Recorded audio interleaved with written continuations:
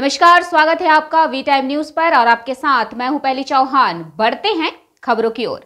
दौलताबाद थाना क्षेत्र के होगोल गंगा क्षेत्र से तमंचे के साथ एक गिरफ़्तार। मंगलवार रात करीब साढ़े ग्यारह बजे दौलताबाद थाने की पुलिस को गुप्त सूत्र से मिले सूचना और दौलताबाद थाने के होगोल गंगा बालूगढ़ मैदानी क्षेत्र से एक व्यक्ति को तमंचे के साथ गिरफ़्तार किया गया।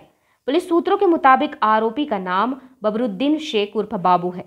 आरोपी का घर दौलताबाद थाने के शीच घरी पश्चिम पारा इलाके में है। गिरफ़्तार व्यक्ति के पास एक देशी पाइप गन व एक राउंड गोली बरामद हुई है।